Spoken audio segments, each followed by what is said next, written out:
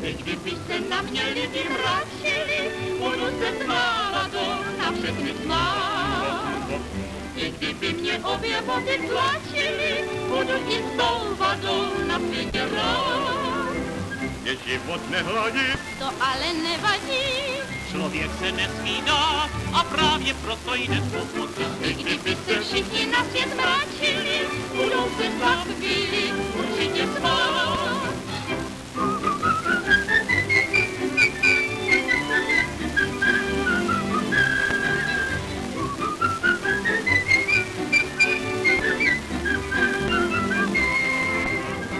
život nehladí, To ale nevadí, Člověk se nesmí dát a právě proto jde pokud i kdyby se všichni na svět mračili, budou se za chvíli určitě.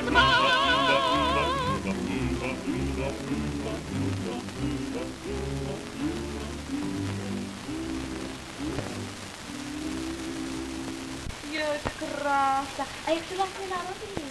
Ty hloupá. Stalo se něco hrozného.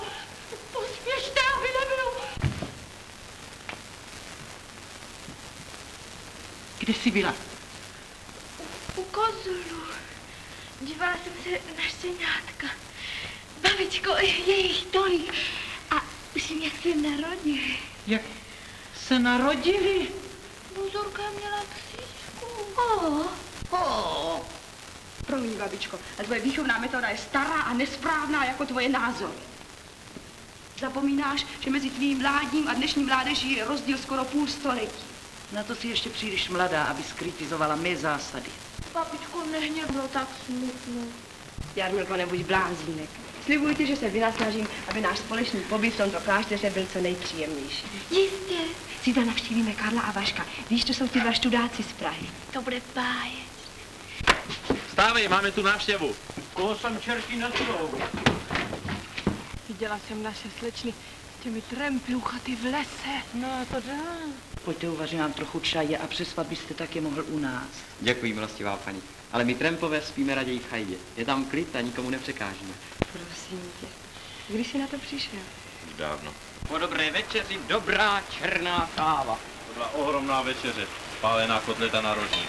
Můžu za to, že se mě trochu přičoudli, ale jinak byly báječné. To nevím, já jsem svoji vyhodil do řeky. Žasný, prostě žasný. Jakoby babička nějakým zázrakem omládla. Žádný zázrak. To všechno způsobili ti zdivočelí a nevychovaní trempové. Kdo zná tvoje srdce zlaté, tě každý rád. Přejeme ti proto ještě dvakrát šedesát. Ani nevím, jak se to stalo, ale naše pravá spojka stala klíči, nasazuje kráně,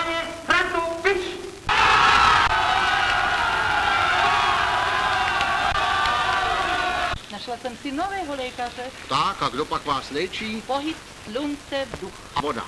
No, tak daleko ještě nejsem. Musí rádi přinést trochu obědí našemu mládí, než nám odledí. Život je krásný,